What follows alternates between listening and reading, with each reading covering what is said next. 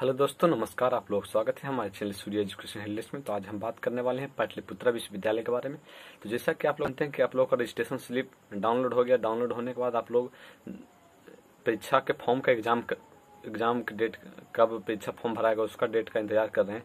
तो इसी के बारे में हम जानकारी देने वाले हैं कि आप लोग का जो एग्ज़ाम डेट है सॉरी एग्ज़ाम फॉर्म है वो कब मतलब कि भराएगा, कब से स्टार्ट होगा। तो इसी के बारे में पूरी जानकारी देंगे कब से स्टार्ट परीक्षा फॉर्म पाटलिपुत्र विश्वविद्यालय में होगा। खासकर करें part one UG part one part two and part three या फिर पीजी ये सभी का जानकारी इस वीडियो में दी जाएगी। साथ ही परीक्षा आप लोगों का फिर जब फॉर्म भराएगा तो आप लोगों का परीक्षा कब होगा, ये सारी जानकारी आप लोगों को दी जाएगी। प्लीज़ इस वीडियो में लास्ट तक बने और साथ ही वीडियो का स्किप मत कीजिएगा, अन्यथा नहीं समझ में आएगा कि कब आप लोगों का एग्ज़ाम होगा, कब आपका एग्ज़ाम फॉर्म भराएगा। तो चलिए हम आप लोग का स्क्रीन पर चलते हैं, जहाँ पर आप लोग हम पूरी तरह समझाने की कोशिश करते हैं। चलिए स्क्रीन पे। जैसा कि आप यहाँ देख रहे हैं स्क्रीन पर आ चुके हैं। यहाँ पर आप देख सकते हैं पाटलिपुत्र विश्वविद्यालय। के बारे में दिया गया है तो जैसा कि जो पेपर का कट है, इसे हम डाउनलोड किए थे और ये आप लोगों को दिखा रहे हैं। यहाँ पर दिया गया कि लॉकडाउन के बाद नया परीक्षा कैलेंडर जारी होगा। यानी कि आप लोग किसी से रिलेटेड सारी जानकारी देंगे कि परीक्षा फॉर्म आप लोगों को कब भराएगा। तो प्लीज़ वीडियो में बने रहे। जैसा कि आप लोग जानते हैं कि पहले, लॉकडाउन से पहले परीक्षा कैलेंडर पाटलिपुत्र विश्वविद्यालय के द्वारा जारी किया गया था।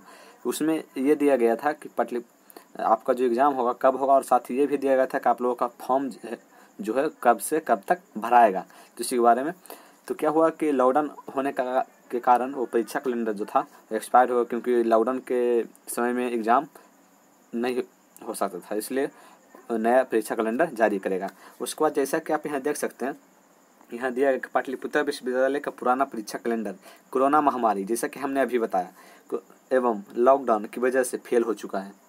यहाँ पर देख सकते हैं कि जब कोरोना महामारी के चलते जो परीक्षा कैलेंडर जारी किया गया था, वो उसी इक्कीस मई से परीक्षाएँ होनी थी, लेकिन आप लोग जानते हैं कि पच्चीस मई तक ये जो लॉकडाउन लग गया जिसकी वजह से ये संभव नहीं हुआ। साथ में फॉर्म भी नहीं भराया था और रजिस्ट्रेशन स्लिप में डाउनलोड खास करके बात करें पार्ट वन की तो रजिस्ट्रेशन स्लिप डाउनलोड करने में दिक्कत हुई थी पीजी में भी, जिनका रजिस्ट्रेशन स्लिप डाउनलोड करना था, उनका भी दिक्कत हुई थी। और पार्ट टू और पार्ट थ्री की बात करें तो उसका तो रजिस्ट्रेशन स्लिप डाउनलोड उसको कोई दिक्कत नहीं था, सिर्फ़ फॉर्म भरने का का था। लेकिन इसका भी लेट हुआ और साथ ही कोरोना महामारी के चलते लॉकडाउन भी लग गया, जिसकी वजह से जो पुराना परीक्षा कैलेंडर था, उसे हटा दिया गया। लेकिन अब नया परीक्षा कैलेंडर जारी किया जाए यहाँ पर पूरा देख सकते हैं।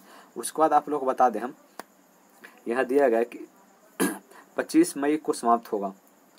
लॉकडाउन तो 25 मई को समाप्त हुआ, लेकिन इसलिए इंतज़ार किया जा रहा है कि लॉकडाउन समाप्त होते ही पीपीयू नया परीक्षा कैलेंडर जारी करेगा। यानी कि जैसे ही ये जो लॉकडाउन है, अगर अगर 25 मई को ख़त्म हो जाती है, तब तो परीक्षा कैलेंडर जारी करने पर इस पर कुछ विचार बनाएगी पाटलिपुत्र विश्वविद्यालय। लेकिन अगर लॉकडाउन जो है पच्चीस मई से आगे बढ़ जाती है किसी कारणवश तो हो सकता है परीक्षा कैलेंडर जारी ना हो। तो यहाँ पर दिया पच्चीस मई को लॉकडाउन समाप्त होता है तो अठाईस मई तक नया कैलेंडर जारी कर दिया जाएगा यानी अगर 25 मई को लॉकडाउन समाप्त कर दिया जाता है बिहार में तो आप लोगों को पाटलिपुत्रा विश्वविद्यालय का नया परीक्षा कैलेंडर जारी कर दिया जाता है जिससे आप लोग को पता चल जाएगा कि आप लोग परीक्षा फॉर्म कब भराएगा। साथ ही ये भी पता चल जाएगा आप लोग का एग्ज़ाम कब होगा। पूरी जानकारी आप लोग को मिल जाएगी उससे। उसके बाद यहाँ दिया कि महामारी के प्रभाव के बावजूद स्थिति में सुधार होते ही हर हाल में सत्र को जगह पर लाने का पूरा प्रयास किया जा जाए या, यानी कि ये जो पटलिपुत्रा विश्वविद्यालय कहा जा रहा है कि आपका जो सत्र है दो हज़ार बीस इक्कीस, अगर हम बात करें दो हज़ार बीस तेईस की जो पार्ट वन में भी अगर दो हज़ार बीस इक्कीस सत्र की बात करें तो उनका जो सत्र है दो हज़ार इक्कीस में एग्ज़ाम का तो वो मतलब जल्द से जल्द कि जिससे आप लोगों का जो एग्ज़ाम और रिज़ल्ट में कोई देरी ना हो, ये कोशिश की जा रही है।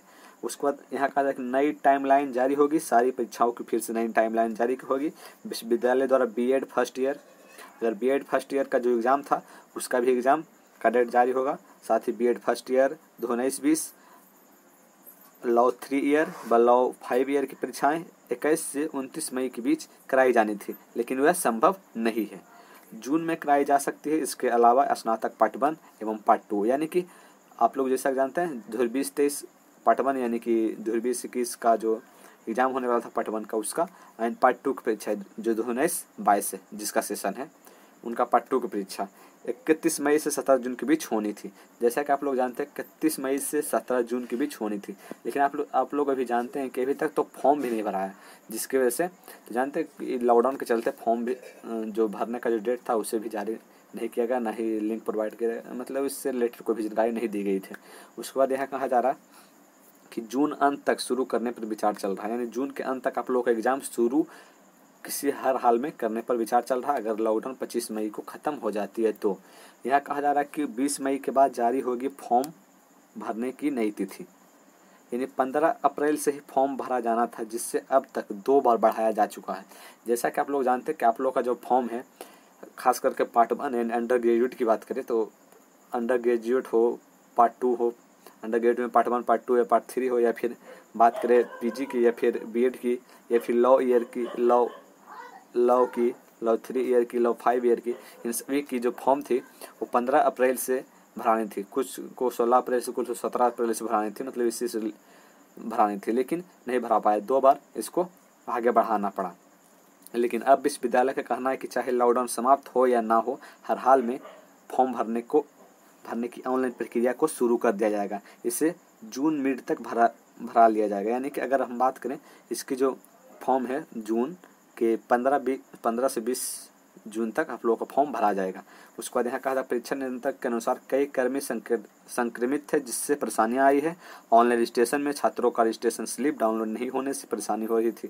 जैसा कि आप लोग जानते हैं, पिछले दिनों जो रजिस्ट्रेशन स्लिप डाउनलोड करने का जो डेट आया था और डाउनलोड कर रहे थे तो बहुत सारे स्टूडेंट को नहीं डाउनलोड हो रहा था, लेकिन किसी वजह से फिर धीरे धीरे धीरे धीरे इस पर सुधार किया गया और आखिरकार जो इसका रजिस्ट्रेशन स्लिप है वो डाउनलोड हो गया। बहुत सारे को गलती था तो आप लोगों को गलती जो रजिस्ट्रेशन स्लिप में था उसे सुधारने के लिए हमने एक वीडियो भी बनाया था कि आप लोगों को कैसे, किस तरह से आप लोगों को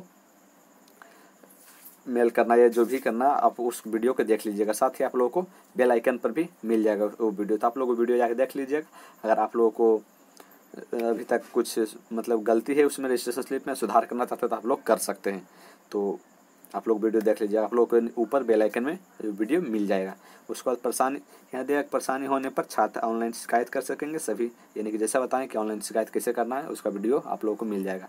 तो आप लोगों ने देखा कि आप लोगों का जो, अगर हम बात करें इसकी परीक्षा फॉर्म की तो परीक्षा फॉर्म आप लोगों को बीस मई के बाद आने वाली है। यानी कि आप लोगों का जो परीक्षा फॉर्म है, मेन रूप से हम कहें परीक्षा फॉर्म। परीक्षा तो होगी बाद में, पहले परीक्षा फॉर्म भराएगी तब। तो परीक्षा फॉर्म जो है, आप लोगों को बीस मई को बीस मई के बाद आने वाली है। यानी कि लॉकडाउन खत्म हो या ना हो, आप लोग परीक्षा फॉर्म बीस मई से, बीस मई के बाद से आप लोग का स्टार्ट हो जाएगा। ये तो सिर्फ़ कहा गया है, लेकिन सच में ऐसा होता है कि नहीं, देखना होगा। अगर होता है तो सही है, नहीं होता तो फिर डेट जारी किया जाएगा पाटलिपुत्र विश्वविद्यालय। द्वारा और साथ ही जब अगर बीस मई के बाद से जो परीक्षा फॉर्म है भराने लगता है तो आप लोग किसी चैनल के माध्यम से आप लोगों को वीडियो के द्वारा आप लोगों को सूचना दे दे, दी जाएगी कि किस तरह से आप लोग परीक्षा फॉर्म भर सकते हैं और ये पूरी जानकारी दे दिया, दे दी जाएगी कि किस तरह से आप लोग क्या क्या लग रहा है, ये सारी जानकारी। तो चलिए आप लोगों को वीडियो अच्छा लगा होगा। तो अच्छा लगा तो लाइक कीजिएगा शेयर कीजिएगा और कमेंट कर बताइए कि वीडियो कैसा लगा और साथ ही इस चैनल पर पहली बार आए हैं तो इस चैनल को सब्सक्राइब कीजिएगा ताकि इससे रिलेटेड सारी वीडियो आप लोगों को मिल जाए। और साथ ही आप परीक्षा, यानी स्टूडेंट है या फिर इससे रिलेटेड जानकारी लेना चाहते हैं, तभी आप लोग इस चैनल को सब्सक्राइब कीजिएगा, नहीं तो नहीं सब्सक्राइब कीजिएगा। धन्यवाद। जय हिंद, जय भारत।